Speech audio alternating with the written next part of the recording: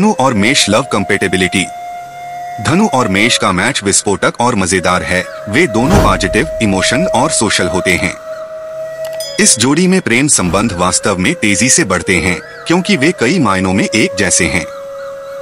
धनु और मेष की जोड़ी एक ऐसी जोड़ी है, जो एक दूसरे के साथ तुरंत जुड़ती है, और वे दोनों एक दूसरे को बहुत प्यार करते हैं।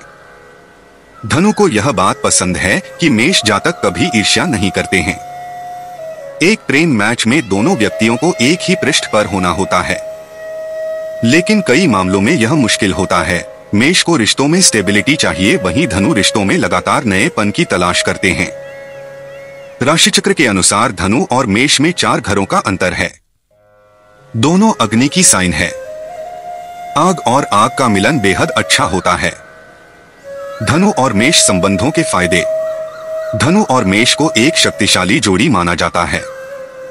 वे दोनों गुरु और सूर्य द्वारा शासित है। उनके रिश्ते में बोरियत के लिए कोई जगह नहीं होती। आइए जानते हैं धनु और मेष संबंधों के कुछ फ़ायदे। धनु और मेष की जोड़ी में दोनों अग्नि तत्व की राशि है। उनके बीच तत्काल तालमेल होने की संभावना है।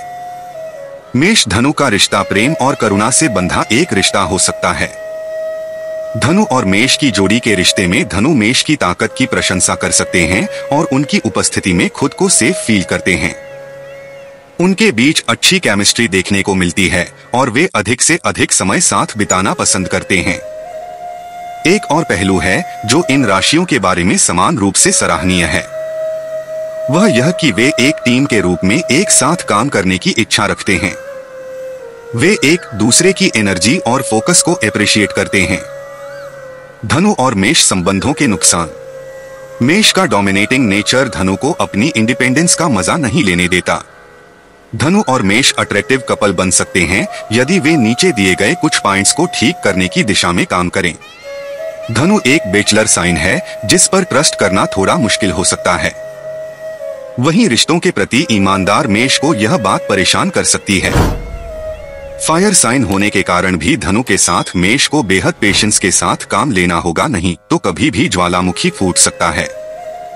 मेष का केयरिंग नेचर धनु को डोमिनेटिंग लग सकता है। ये बातें कभी कभी विवाद की शक्ल भी ले सकती हैं।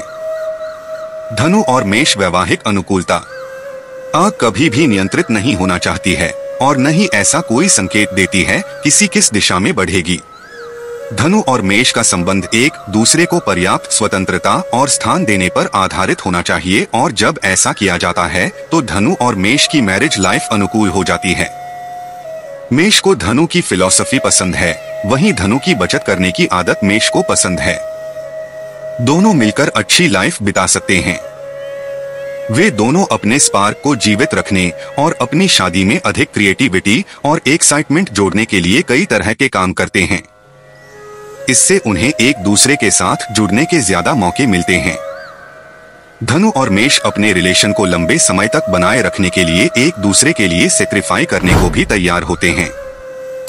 धनु और मेष सेक्सुअल अनुकूलता।